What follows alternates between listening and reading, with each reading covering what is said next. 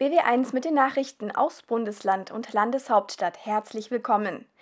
SPD-Fraktionschef Klaus Schmiedl hat dem NBW-Chef Hans-Peter Phillis mit dem Rausschmiss gedroht.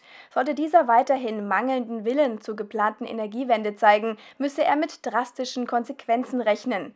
Die NBW müsse ihre Strategie radikal ändern. Laut Schmiedl sei das Atomzeitalter vorbei. Bereits jetzt wendeten sich Kommunen und Stadtwerke vom Energiebetreiber ab. Grün-Rot werde sich schon bald mit dem anderen Hauptaktionär OEW zusammensetzen und Phyllis klare Ansagen machen. Die NBW wollte Schmiedels Vorstoß indessen nicht kommentieren. Die Grünen-Fraktionschefin im Bundestag, Renate Künast, hat den neuen Verkehrsminister Winfried Herrmann für dessen Aussagen zu Stuttgart 21 kritisiert. Dieser hatte vergangene Woche angekündigt, im Falle des Baus von S21 die Verantwortung für das Bahnprojekt in ein anderes Ressort abgeben zu wollen. Gegenüber dem SWR sagte Künast, man könne sich nicht aus der Verantwortung stehlen. Sie gehe aber ohnehin davon aus, dass das Projekt nicht gebaut werde. Der Stresstest werde zeigen, dass S21 unsinnig sei. SPD-Fraktionschef Klaus Schmiedl hält die Debatte indessen für verfrüht. Jegliche Ansagen zu S21 seien reine Mutmaßung. Der neue grünen Ministerpräsident Winfried Kretschmann hatte am Donnerstag erklärt, es sei durchaus vorstellbar, dass S21 im Fall des Baus in ein anderes Ressort wechselt. Dennoch sei das derzeit reine Spekulation. Die Bundes-FDP will wieder auf Angriff schalten. Mit der Wahl von Philipp Rösler zum Bundeschef wollen die Liberale nach sinkenden Umfragewerten und der Wahlschlappe in Baden-Württemberg den personellen Neuanfang einleiten. Wir haben uns telefonisch mit dem Reutlinger Bundestagsabgeordneten Pascal Kober unterhalten. Ein Signal des Aufbruchs, so nennt der neue FDP-Bundeschef Philipp Rösler den Ausgang des dreitägigen Bundesparteitags in Rostock. Die FDP ist seit der Bundestagswahl 2009 eine Baustelle. Die Umfragewerte sinken, das Wählervertrauen ist weg. Dann die Wahlschlappe in Baden-Württemberg. Jetzt will die FDP mit personeller Neuordnung wieder liefern.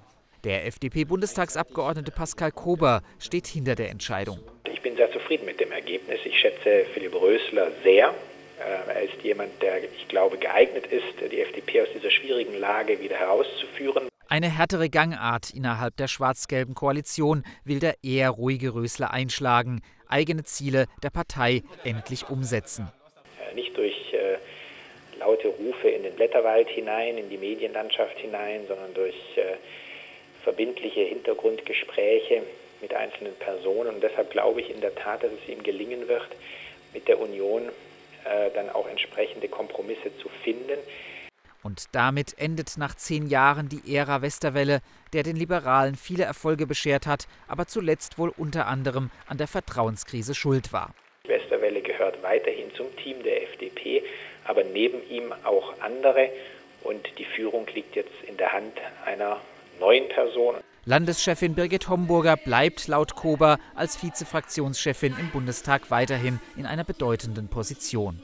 EU-Energiekommissar Günther Oettinger, CDU, rät von einer Atomendlagersuche in Baden-Württemberg ab. Die Gesteinsformationen im Land seien dafür schlichtweg nicht geeignet. Wichtiger sei, dass die Erkundung des Gorlebener Salzstocks schnell vorankomme. Auch sei der Begriff Endlager irreführend. Der Atommüll solle vielmehr rückholbar gelagert werden. Zuvor hatte Ministerpräsident Winfried Kretschmann Grüne erklärt, die Suche nach einem Endlager auch im Land auszudehnen. Voraussetzung dafür sei aber der endgültige Atomausstieg. Die regionale Wirtschaft läuft derzeit auf Hochtouren. Die steigende Inlands- und Auslandsnachfrage beschert den Unternehmen in der Region Stuttgart wachsende Umsätze und volle Auftragsbücher. Das bestätigt eine aktuelle Konjunkturumfrage der IHK Stuttgart. Auch die Geschäftserwartungen für die kommenden Monate seien überwiegend optimistisch. Davon profitiert vor allem der Arbeitsmarkt. Rund ein Drittel der Betriebe will zeitnah neues Personal einstellen. Wie die NBW mitteilt, ist der Atommeiler Philipsburg 2 am Wochenende vom Netz gegangen. Der Grund ist die planmäßige Jahresrevision, in der Brennelemente ausgetauscht und Prüfungen durchgeführt werden. Zudem sollen umfassende Modernisierungsmaßnahmen fortgesetzt werden. Nach dem AKW-Moratorium geht damit der dritte von vier NBW-Meilern vom Netz. Im Sommer könnte es dadurch zu Stromausfällen kommen, so Konzernchef Phyllis. Soweit die BW1 Nachrichten. Jeden Tag das Wichtigste aus Bundesland und Landeshauptstadt.